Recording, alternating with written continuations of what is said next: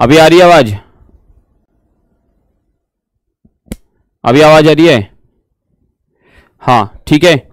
तो सभी को नमस्ते, सभी को नमस्ते, चांदनी जी नमस्ते, सभी को नमस्ते। अभी आवाज़ आ रही है ना सभी को? अभी आवाज़ आ रही है ना सभी को? तो चलिए अपने विषय को प्रारंभ करते हैं।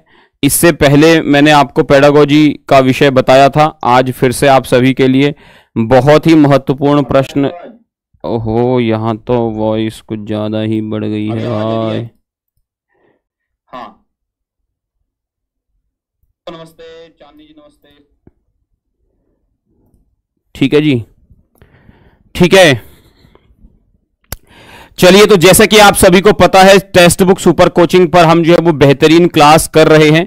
ये अपनी आठवीं क्लास है। ये अपना लगातार जो मैंने आपको कहा था कि मैं आपको पेडागोजी पढ़ाऊँगा, ये उसका आठवां भाग है। लगातार आठवीं क्लास है ये तथास्तु सीरीज़ की, जिसमें मैं आपको संस्कृत पेडागोजी पढ़ा रहा हूँ। तीस दिनों में संपूर्ण रिवीजन करा रहा हूँ। तो चलिए प्रारंभ करते हैं। आप सभी को पता है, मेरी क्लास का जो समय है, वो मंडे टू फ्राइडे अपनी क्लास होती है सेवन पीएम पे। ये मेरा टेलीग्राम आईडी है। क्लास पे जो टेक्स्ट बुक ऐप पे अपनी क्लास होती है लाइव क्लास जो होती है, वो Monday and Wednesday nine fifteen AM है। इस बार सैटरडे भी मॉर्निंग 9:15 एएम पर क्लास रहेगी। समझ गए? चलिए कल रामनवमी के उपलक्ष्य में जो है वो कार्यक्रम पूजा में मेरी व्यस्तता थी तो मैंने जो है कल क्लास नहीं ली थी तो वो क्लास मैं आपको लूँगा कल। हम्म। ठीक है जी, बात समझ में आ गई? ठीक है। प्रारंभ करें। एक सेकंड रुक जाओ। हम्म। समझ गए? प्रारंभ करें। चलो, अभी एक सेकंड मैं अपनी आँखें लगा लूँ जरा। आँखें लगा लेता हूँ।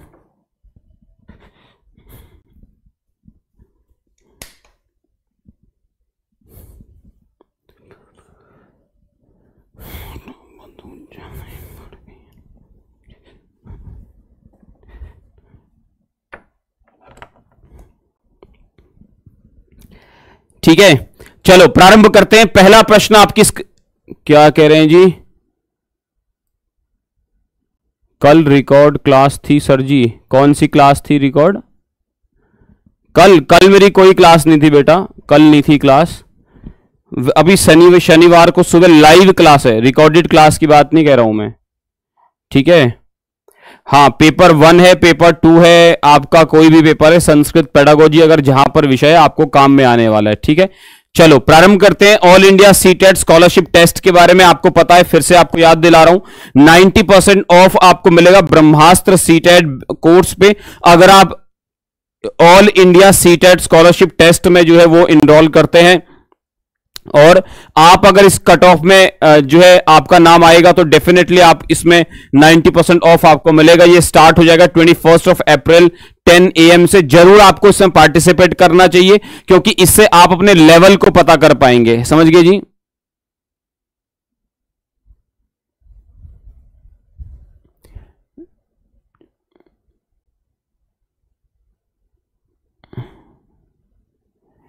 हाँ ठीक है जी। चलो, प्रारंभ करते हैं। सा द्विभाषी कक्षा लाभकारिणी भवती। यत्र छात्रा स्वमूल भाषया, लक्ष्य भाषया च परस्परम वार्तालापम कुर्वन्ति। कारणम अस्ति वह द्विभाषी कक्षा, वह द्विभाषी कक्षा, यानी द्विभाषी कक्षा मतलब दो भाषाओं वाली कक्षा। क्या कह रहे हैं जी? तैयारी एक में जॉब हुआ सर। सुपर कोचिंग से पढ़ाई कर अब पेपर भी तो निकालना है सर। हाँ बिल्कुल जी पे, बिल्कुल पेपर निकालना है। ठीक है जी? हाँ ठीक है। तो वह द्विभाषी कक्षा मतलब जिसमें दो भाषाएँ बोली जाती हैं, वो कक्षा हो गई द्विभाषी कक्षा।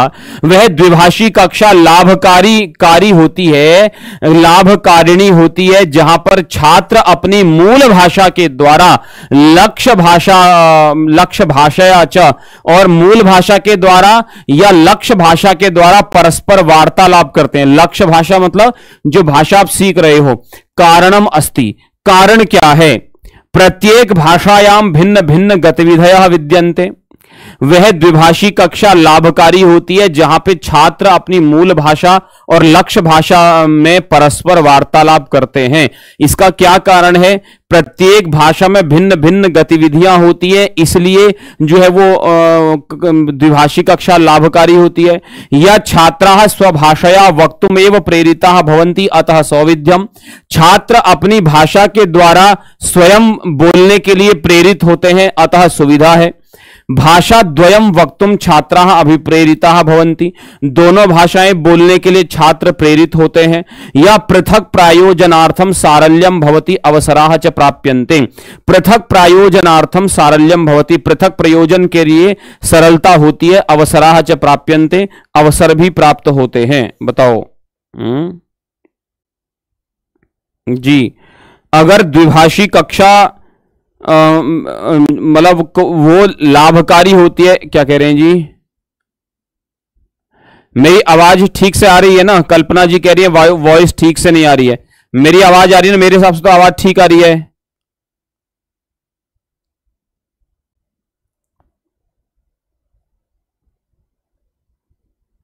ठीक है जी? समझ गए? चलो बताओ। आ, देखो क्या होता है ना जब एक क्लास में दो भाषाएँ बोली जा रही हैं और दोनों में बच्चे वार्तालाप कर रहे हैं।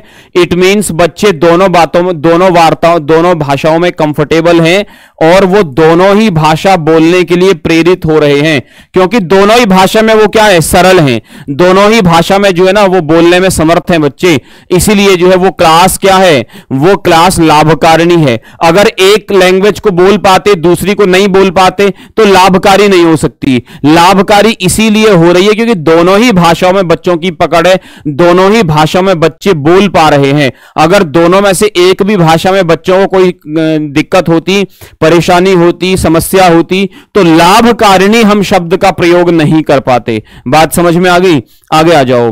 कोपी छात्र कापी छात्रा अधिकत ज्ञानम प्रयुक्तम असमर्थ असमर्था। यथा अनुवाद प्रक्रियार्थम उपयुक्त शब्द चयन संदर्भी किम समाधानम?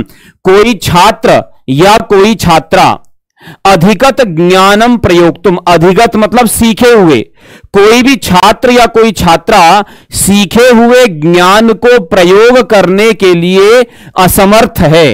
जैसे कि अनुवाद प्रक्रिया के लिए उपयुक्त शब्दों के चयन के संदर्भ में।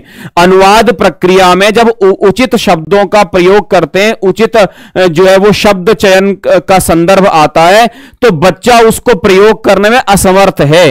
तो इसका समाधान क्या है? अधिक अधिक दानम, अधिक से अधिक अवधि दानम। बच्चे को ज़्यादा टाइम देना चाहिए। अभिप्रेरणार्थम सर्वदा सरल अभ्यास कार्यम अभिप्रेरणा के लिए हमेशा सरल अभ्यास कार्य देना चाहिए। उच्च स्तरीय ही, छात्र ही सह मेलनम। अपने से जो है हायर सीनियर जो बच्चे हैं, उनके उच्च स्तरीय छात्रों के साथ उनका मेलजोल बढ़ाना चाहिए। उपयुक्त रूपेण निर्मित श्रेणीकृत अभ्यास पत्र ही अभ्यास कार्यम। या उपयुक्त रूप से निर्मित किए गए श्रेणीकृत श्रेणीकृत का अर्थ होता है लाइन वाइज अभ्यास पत्रों के द्वारा अभ्यास कराना, क्या क्या जो है समाधान है समाधान क्या है बताओ? हम्म? देखो, अगर बच्चा समस्या कर रहा है ना तो आप बच्चे को पहले एक सरल एक सरल वो दो, एक सरल उसको अभ्यास दो, फिर उससे लेवल बढ़ाते जाओ, थोड़ा कठिन थोड़ा कठिन थोड़ा कठिन थोड़ा कठिन थोड़ा कठिन इस प्रकार से उपयुक्त रूप से निर्मित श्रेणी के अभ्यास पत्रों के द्वारा बच्चे का अभ्यास कराओ। इससे क्या होगा? सबसे पहले वो सरल अभ्यास करेगा तो उसमें बहुत सारे प्रश्न सॉल्व हो जाएँगे तो उसके मन में कॉन्फिडेंस बिल्ड होगा। वो प्रश्न उसको याद होंगे, फिर वो अगला करेगा, पिछला वाला उसमें सहायक होगा। ऐसे धीरे धीरे धीरे धीरे करते करते जो है, वो फिर एक लेवल पे पहुँच जाएगा। इसे कहते हैं सरल से कठिन की ओर लेकर के जाना। समझ गए जी? समझ गए? आगे आ जाओ। अधिगंतार प्राय ज्ञान निर्मातार अपि भवंती ठीक है?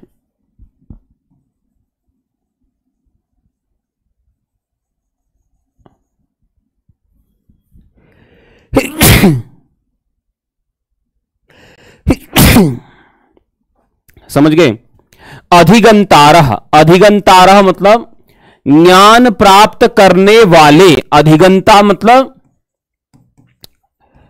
अधिगंता। अधिगंता का अर्थ होता है ज्ञान प्राप्त करने वाला, यानी छात्र। तो अधिगंतार बहुवचन में क्या हो क्या हो जाएगा? ज्ञान प्राप्त करने वाले, यानी ज्ञान प्राप्त करने वाले प्रायः ज्ञान का निर्माण करने वाले भी होते हैं। भाषा की कक्षा के द्वारा и इदम तुम इस बात को सिद्ध करने के लिए कौन सा समीचीन उपाय है? एक स्टेटमेंट है कि जो ज्ञान को सीखने वाले हैं ना, ज्ञान को प्राप्त करने वाले, ज्ञान का निर्माण करने वाले भी होते हैं। एक भाषा की क्लास में इस बात को सिद्ध करने के लिए आप कौन सा उपाय और कौन सा ऑप्शन चुनोगे? विभिन्न गतिविधियों के द्वारा नए संदर्भ में भाषा के प्रयोग के लिए अधिक से अधिक अवसरों को प्रदान करना या फिर पूर्व निर्धारित प्रयोजनात्मक कार्य की प्रतिपुष्टि यानी फीडबैक देना या लक्ष्य भाषा के, के से संबद्ध लक्ष्य भाषा से संबद्ध पाठ्य वस्तु का अधिक से अधिक पठन या फिर छात्रों को छात्रों की अधिगम क्षमता के विकास के लिए अधिगम सामग्री की उपलब्धि। छात्रों की अधिगम क्षमता के विकास के लिए अधिगम सामग्री की उपलब्धि। क्या बात है? भाई देखो, आज आप ज्ञान प्राप्त कर रहे हो, है ना? जो आज आपकी क्लास में बच्चा बैठा हुआ है, जो ज्ञान प्राप्त कर रहा है, वो कल को इस देश का भविष्य है, आगे बढ़ करके वो ज्ञान का निर्माण भी करेगा। हम्म। ठीक है? हम्म। तो ये बात आप कैसे सिद्ध करोगे? एक भाषा की क्लास में यह बात आप कैसे सिद्ध करोगे? विभिन्न गतिविधियों के द्वारा नए संदर्भ में भाषा के प्रयोग के लिए अधिक से अधिक अवसर अगर दिए जाएँ तो अधिक से अधिक अवसर देने पे बच्चा सृजन करेगा। क्रिएटिविटी कब होगी? वो कोई भी कुछ भी क्रिएट कब कर पाएगा? अगर आप किसी बच्चे को अवसर ही नहीं दो तो क्या वो कुछ नया इन्वेंशन कर पाएगा? क्या वो नया प्रयोग कर पाएगा? चाहे भाषा की बात हो, चाहे अन्य विषयों की बात हो, अगर उसे अवसर मिलेगा तो डेफिनेटली कर पाएगा ना? ठीक है, चांदनी जी कह रही है, एक से पाँच में संस्कृत के लिए कोई प्रॉब्लम नहीं होगा ना? है ना? अब ये दो तीन बार उन्होंने रिपीट कर दिया है, मैंने पहले भी पढ़ लिया था, लेकिन मैंने सोचा कि इस पर टिप्पण करना ठीक नहीं है। हम्म। चांदनी जी, अभी आपको इस बात के बारे में कोई भी नहीं बता सकता। हर व्यक्ति की प्रॉब्लम अलग अलग होती है। है ना? अगर मैं एग्ज़ाम देने बैठूँगा तो मुझे संस्कृत को समझने में कोई भी प्रॉब्लम नहीं है। तो मेरे लिए कोई समस्या नहीं होगी। पर आपके साथ भी कोई समस्या नहीं होगी ये इस बात की गारंटी नहीं है ना। तो समस्या किसमें है? समस्या पे ध्यान देने से अच्छा है। पहले आप अपनी स्ट्रेंथ बढ़ाइए आप जो है वो आ, क्लास में निरंतर रहिए और प्रैक्टिस करते रहिए। टेंशन अभी भूल जाइए। अभी टेंशन बहुत दूर है ठीक है? टेंशन अभी बहुत दूर है। टेंशन की आवश्यकता ही नहीं पड़ेगी। टेंशन आने से पहले ही ठीक हो जाएगा। ठीक है? समझ गए? छात्रा सहजतया लक्ष्य भाषया भाषण कर्तुम समर्था भवेयु। छात्र जो हैं वो सहज रूप से लक्ष्य भाषा के द्वारा, यानी जिस भाषा को वो सीख रहे हैं, उस भाषा में भाषण करने में समर्थ होने चाहिए। इसके लिए किम महत्वपूर्णम? इसके लिए क्या महत्वपूर्ण है? अगर आप चाहते हो कि सहज रूप से बच्चे लक्ष्य भाषा में, लक्ष्य भाषा मतलब जिस भाषा को आप सीख रहे हैं, उस भाषा में भाषण करने में, बोलने में समर्थ हो जाए या होने चाहिए, इसके लिए आप क्या करेंगे? मुझे संस्कृत को समझने में कोई प्रॉब्लम नहीं नहीं है सर जी बहुत अच्छा पढ़ाते अच्छा जी। इक्कीस जनवरी वाले पेपर का पेडागोजी भी करवा दीजिए। मंजू जी, मैं पिछले सभी पेपरों का पेडागोजी करवा रहा हूँ। सबका करा रहा हूँ बेटा, टेंशन मतलब ठीक है? तो अगर आप चाहते हो कि आपके बच्चे सहज रूप से लक्ष्य भाषा में भाषण करने में समर्थ होने चाहिए, इसके लिए क्या महत्वपूर्ण है? लिखित मौखिक परीक्षण, दृश्य साधनों का प्रयोग, छात्र, छात्रा यथा इच्छन्ति तथैव कयापि भाषया भाषण कुरियो। बच्चे जैसे चाहते हैं, किसी भी भाषा में भाषण करें। या सर्वत्र लक्ष्य भाषया संभाषणार्थम अभिप्रेरणा नूतनेशु च संदर्भेशु भाषा प्रयोगाणाम अवसर प्रदानम यह सभी जगह लक्ष्य भाषा के द्वारा संभाषण के लिए अभिप्रेरणा और नए और संदर्भों में भाषा प्रयोग का अवसर प्रदान करना। अगर आप जिस भाषा को सीख रहे हो, चाहे वो तमिल है, तेलुगु है, मलयालम है मलयालम है, कन्नड़ है, गुजराती है, पंजाबी है, पहाड़ी है, हिमाचली है, बिहारी है, भोजपुरी है, जो है वो मणिपुरी है या आसामी है, जिस भी भाषा में आप सीखना चाहते हैं, जिस भी भाषा में आप सीखना चाहते हैं, अगर आप उस भाषा में बोलने का प्रयास प्रारंभ कर देंगे, बहुत जल्दी भाषा सीख जाएँगे। और अगर आप जो है जिस भाषा को सीखना चाहते हैं, उस भाषा संबंधित किताबें लेकर आ जाइए। किताबों को जो है ना वो मिक्सी में डाल करके, घोट बना करके पी लीजिए बार बार पीजिए, कुछ भी नहीं होगा। एक सेंटेंस नहीं निकलेगा मुँह से। समझ गए जी? सहज रूपेण भाषा अधिगमन संदर्भे महत्वपूर्णम अस्ति। सहज रूप से भाषा के अधिगम के संदर्भ में महत्वपूर्ण है। क्या महत्वपूर्ण है भाषा अधिगम संदर्भ में?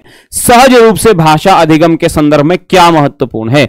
अधिगत शब्द अधिकृत्य वाक्य निर्माणम। जो शब्द आपने सीखे हैं, अधिगत मतलब सीखे हुए। इसका अर्थ क्या है? सीखे हुए शब्दों को लेकर, अधिकृत्य मतलब लेकर, सीखे हुए शब्दों को लेकर जो है वो वाक्य का निर्माण करना, या फिर लेखन करना, या कथन की शैली के अपेक्षा, अर्थ स्पष्टीकरण करना या नाम वाक्यानाम श्रवणम या अभिभावकों के वाक्यों को सुनना। सहज रूप से भाषा अधिगमन के संदर्भ में क्या महत्वपूर्ण है? सहजतया, बहुत ही सरल तरह। शशि कुमारी कह रही है, मुझे संस्कृत थोड़ा कम समझ में आती है। कोई बात नहीं बेटा, आप निरंतर क्लास में प्रैक्टिस करते रहिए, डेफिनेटली आप सीख जाएँगे। ठीक है? ठीक है? हाँ ठीक है। अगर आप सहज रूप से चाहते हैं, सहज रूप से अगर भाषा अधिगम के संदर्भ में महत्वपूर्ण क्या है कि कथन की शैली की अपेक्षा अर्थ का स्पष्टीकरण हो, है ना? अर्थ का स्पष्टीकरण हो। अगर अर्थ का स्पष्टीकरण नहीं होगा तो क्या होगा? कोई आपको तो उस भाषा का अर्थ पता नहीं है। दूसरा व्यक्ति ना हंस के जो है ना, वो कुछ भी बोल जाएगा, आपको पता नहीं चलेगा। समझ गए? समझ गए जी? हम्म। ठीक है, आगे आ जाओ। सहज रूपे ओह, आगे आ जाओ। छात्रा श्रुत सामग्री अधिकृत्य। श्रुत सामग्री मतलब सुनी हुई, सुनने योग्य जो सामग्री होती है। छात्रा श्रुत सामग्री अधिकृत्य विशिष्ट टिप्पणी लेखितुम समर्था भवेयु। छात्र सुनी हुई सामग्री को लेकर विशिष्ट टिप्पणी लिखने में समर्थ होने चाहिए। इत्येत इत्यर्थम इत्यर्थम इसके लिए कृत गति, गतिविधि कथ्यते। बच्चे श्रुत सामग्री को लेकर के विशेष टिप्पणी लिखने में समर्थ होने चाहिए। इसके लिए की जाने वाली गतिविधि को क्या कहा जाता है? पुनस्मरणम, व्याख्यानम, सूचना स्थानांतरणम भावी कथन भावी कथनम क्या कहेंगे? भावी कथनम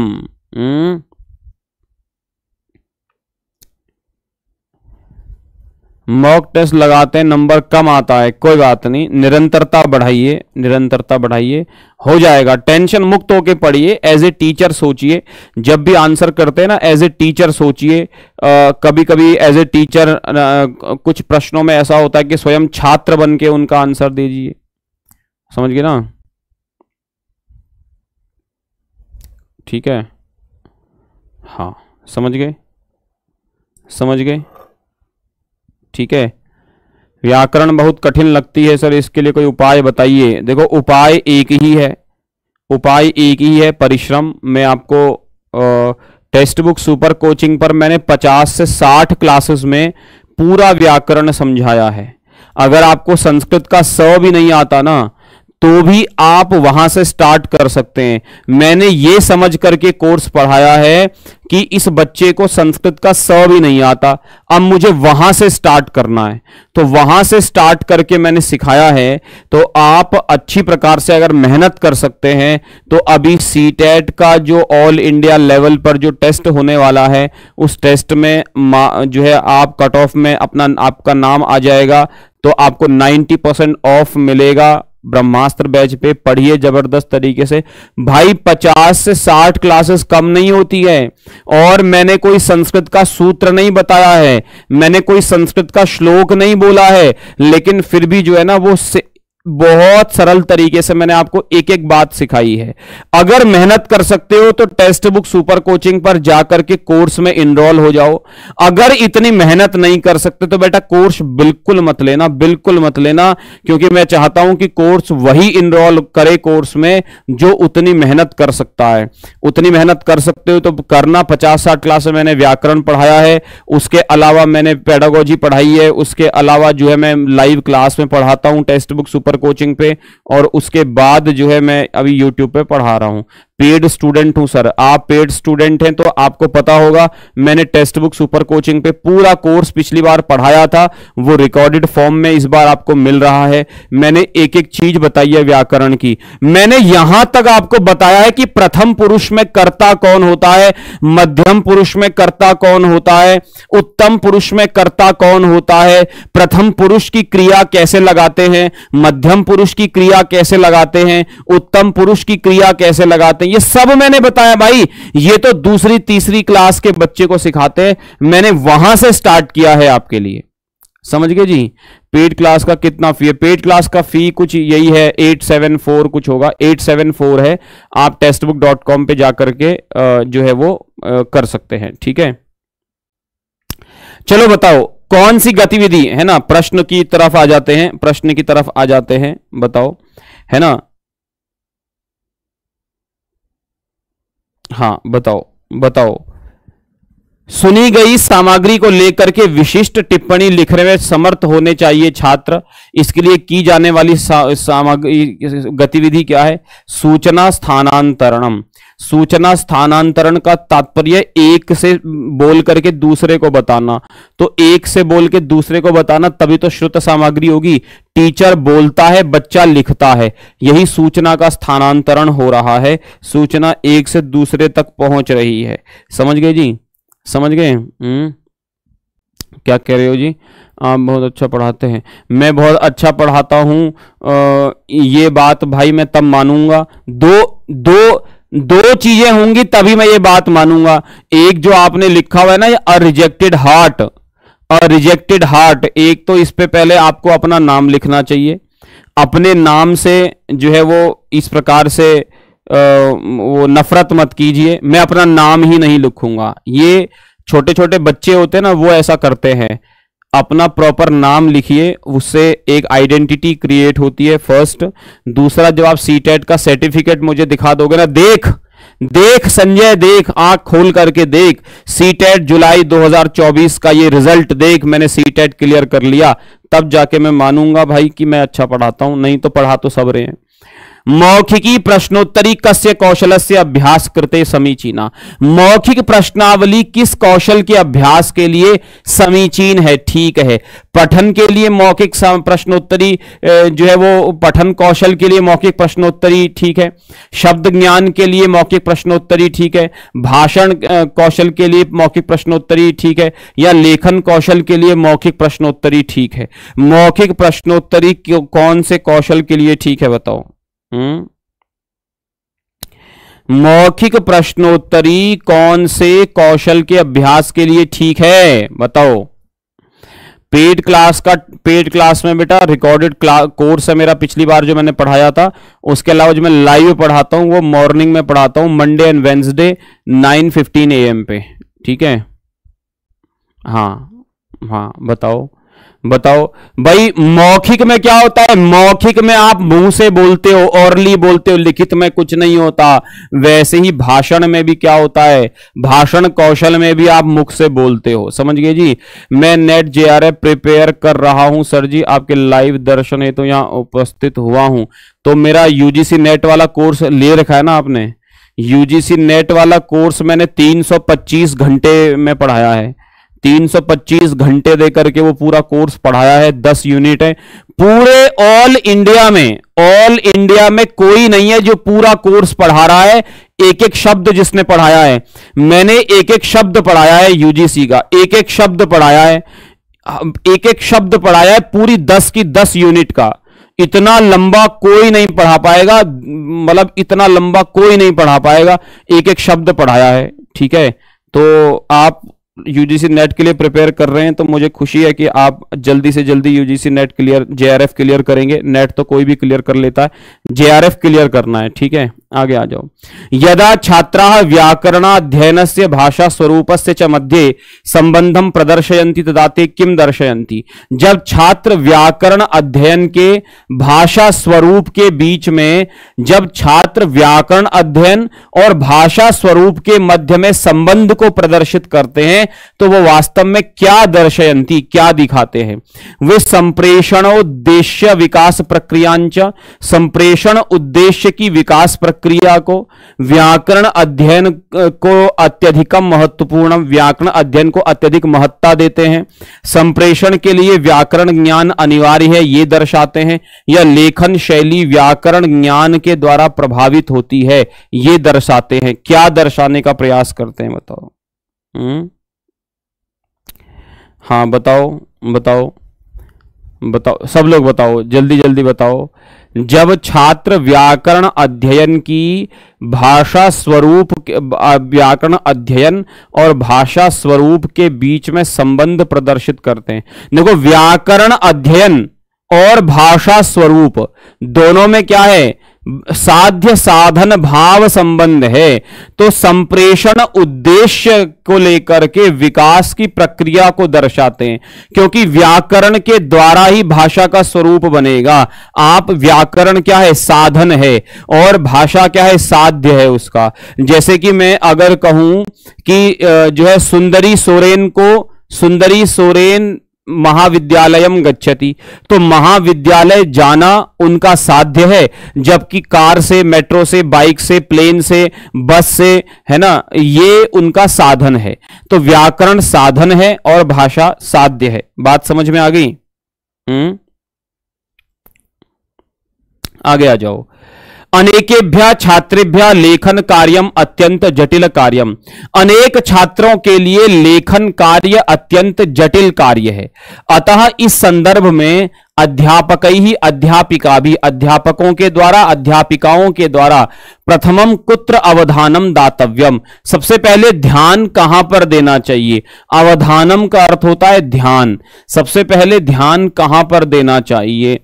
रुचि वर्धनार्थम सरल कार्यम प्रति, रुचि बढ़ाने के लिए सरल कार्य के प्रति, स्पष्ट संप्रेषण क्षमता विकास के संदर्भ में आवश्यक व्याकरण तत्व अभ्यास के प्रति, स्पष्ट संप्रेषण क्षमता विकास के संदर्भ में आवश्यक व्याकरण तत्व के अभ्यास के प्रति व्याकरण संबद्ध अभ्यास के प्रति या आत्मविश्वासम उत्पादयितुम लक्ष्य भाषा, मातृभाषा प्रयोगम प्रति, या फिर आत्मविश्वास बढ़ाने के लिए लक्ष्य भाषा मातृभाषा, लक्ष्य भाषाया, मातृभाषाया प्रयोगम प्रति। ठीक है?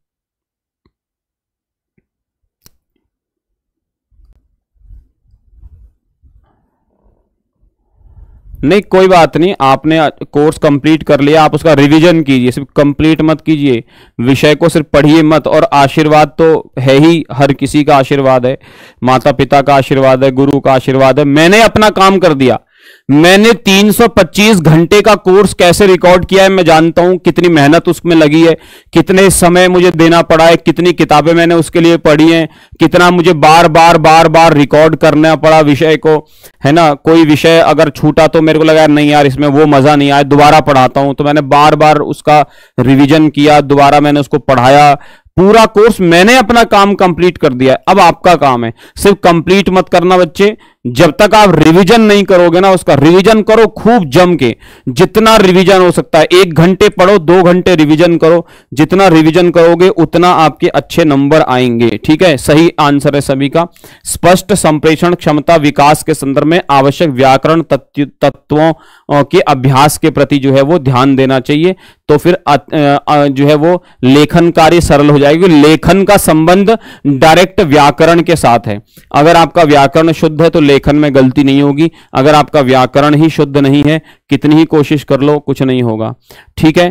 तो ऑल इंडिया सी का ये जो स्कॉलरशिप टेस्ट है, ये हो रहा है ट्वेंटी फ़र्स्ट ऑफ़ अप्रैल दस बजे सुबह। तो इसमें आप ज़रूर इनरोल कीजिए। नाइन्टी परसेंट का ये जो ऑफ़ आपको मिल रहा है। ठीक है? इसमें आप ज़रूर इनरोल कीजिए। और अपने नंबर बढ़ाइए, अपने परीक्षण को, अपना परीक्षण कीजिए। मैं कितना कर पा रहा हूँ? मैं कितना कर पा रही हूँ? क्या मैं मैं जो तैयारी कर रहा हूँ या कर रही हूँ, उसमें मैं कितना इंप्रूवमेंट आया है पिछली बार की तरह से? वो सारी चीज़ें जो है ना, वो सारी चीज़ें आपको जो है इस टेस्ट में जानने को मिलेंगी। तो आप इस टेस्ट में ज़रूर इनरोल कीजिए।